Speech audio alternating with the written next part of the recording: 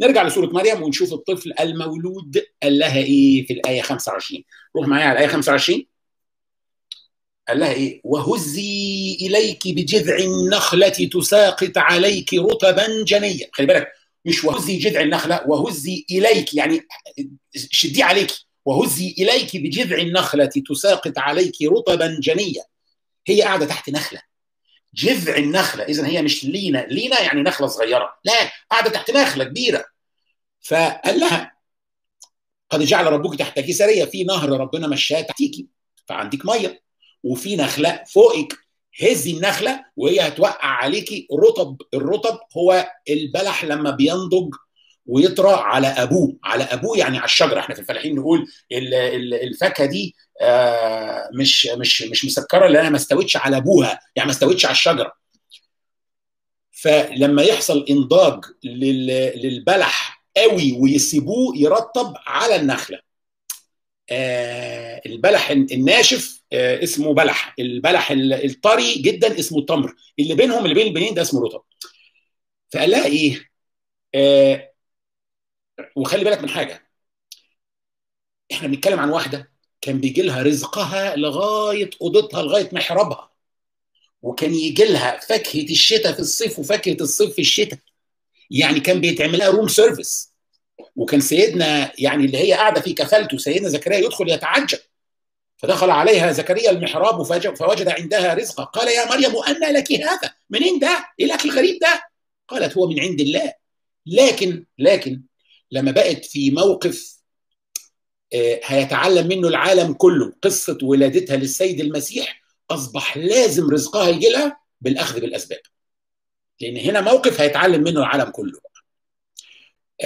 فقال لها لازم تاخدي بالأسباب عشان ربنا ينزل لك رزق ينزل لك الرطب هزي إليك بجذع نخلة عشان تبقوا عارفين 10 رجالة أقوياء ما يقدروش يهزوا النخلة بس عشان تبقوا عارفين النخل النخل ثابت ثبات شديد جدا. عشان يتهز ده صعب. صعب جدا.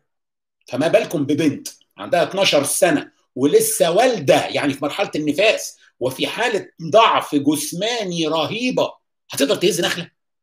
يعني أكيد لا.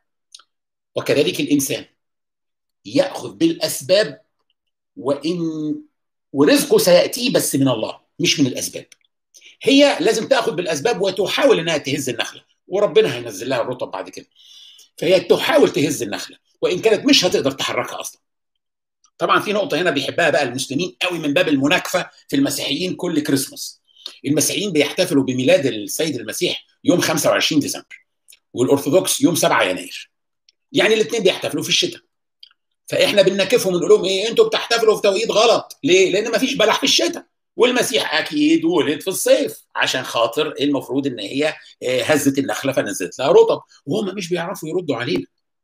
لكن هو بصراحة في رد ورد قوي جدا ولكن هم مش بيستخدموه. أنا هغششهم الرد النهارده.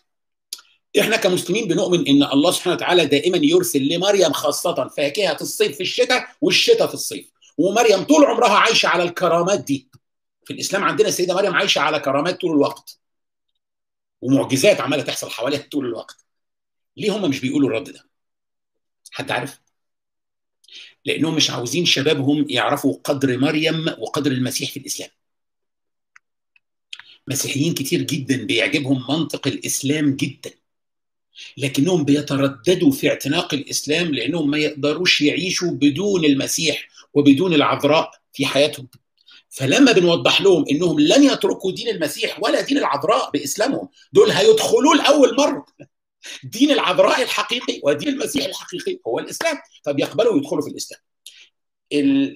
المسيحيين بقى اللي بيردوا على المسلمين لما بنيجي نكفهم في الكريسماس ونقول لهم لا وإزاي؟ وكان نازل رطب وما فيش بلح في في الشتاء. ما بيردوش مش عايزين يسمعوا ومش عايزين يوصلوا قدر مريم وقدر المسيح في الإسلام عند شبابهم هم ويعرفوا إن إحنا عندنا بنؤمن بالسيدة مريم وإنها أطهر نساء العالمين طبقا للقرآن وإنها ربنا كان بيبعت لها فاكهة الصيف في الشتاء والشتاء في الصيف.